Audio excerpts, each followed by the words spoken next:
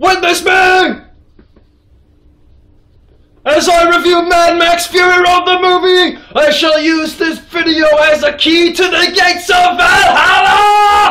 So Mad Max Fury Road is the fourth Mad Max movie. The last three Mad Max movies came out way long ago in the 70s and 80s. Beyond Thunderdome, the most recent one, was made 30 years ago. And they were all directed by mastermind George Miller. Ego much? I didn't actually see the other three Mad Max movies, but you, you do not need to. This is a standalone movie. So this movie is supposed to be a sequel and not a reboot, but it takes place after the events of Mad Max 3 apparently, but Max is like completely like they rebooted the character Max, but not the world.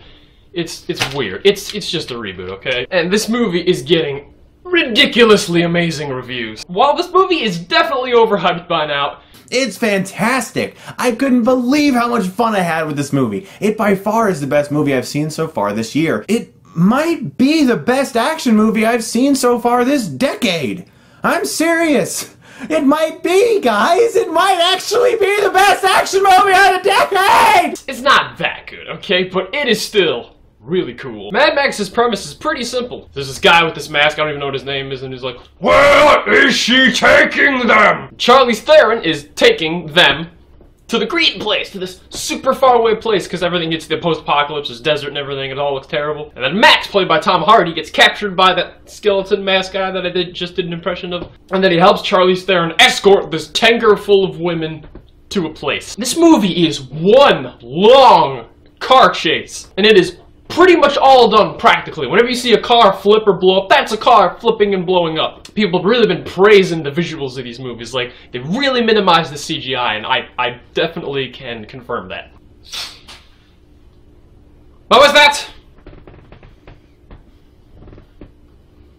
Guys, if I get murdered, tell my family that they bought the wrong cereal. Mad Max is certainly cool as Tom Hardy. He's got, he's, he barely talks. He's got like maybe 20 lines the whole movie. And it gives him kind of a Clint Eastwood, like a man of few words must choose them wisely style approach. One of the problems with having a purely action movie is that there's so, it's a very simple, straightforward movie. There isn't a lot of story, there isn't a lot of character development in the movie. People have really been saying Charlize Theron far outshines Tom Hardy, and I, I disagree. I think they, they share the spotlight equally. Nicholas Hoult plays one of the crazy white men He's he's Beast from X Men, if you forgot. But I really, really love these guys in this movie. I love how they talk. This movie is pretty crazy. It's not as crazy as they've been saying, but maybe that's just because I've heard it and I'm going in thinking it's gonna be crazy. But compared to your standard movie, it's pretty crazy.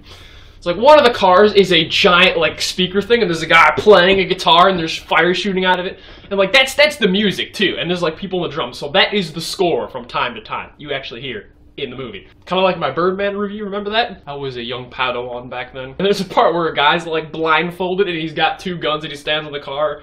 He's like, I am the scales of justice! And he goes into this Thor-like speech about how he's gonna destroy Mad Max. And the crazy white men like worship the immortal skeleton guy is like their god. He will ride us to Valhalla. It's such a well done vehicle-driven action movie. This movie kicks Furious 7's ass. And that's a damn shame. Furious 7 is gonna make so much more than this movie. Prediction-wise, I think Mad Max and Pitch Perfect will be about on par, but I think Mad Max will edge it forward just a little. With the Mad Max video game coming out, I really, really hope they use a lot of these elements of car combat in that game. And the part where they're going into the sand tornado and there's lightning coming down, that was best part of the whole movie. The music is all kicking up and intense. I like the music because the music's like half like super hardcore like action metal to like this symphonic orchestral. Ah! It's a pretty good dichotomy. Ooh, fancy word, dichotomy. I'm an English major. In terms of violence, this is a pretty soft R. I mean, it's very violent, but it is not in any way graphic. Like, there's barely ever, ever any blood on the screen.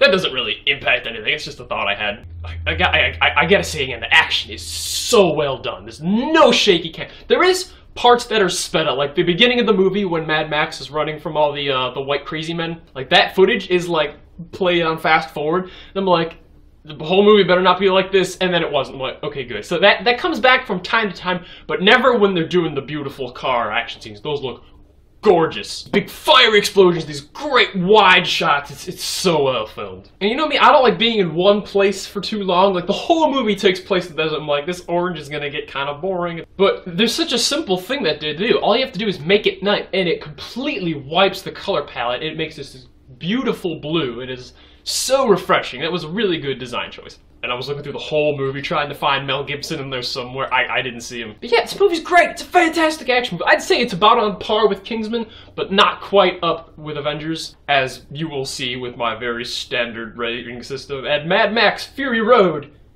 is worth an 8. So go see Mad Max, come back, and join me in my crusade against those with stupid opinions. I had a longer version of that in another video, but I couldn't remember what it was. I'll, we're working on it. I, I, I, want the I want the word crusade in there somewhere. Like, subscribe. Also, check out some of my other videos, and goodbye. And stay tuned later tonight for Pitch Perfect 2.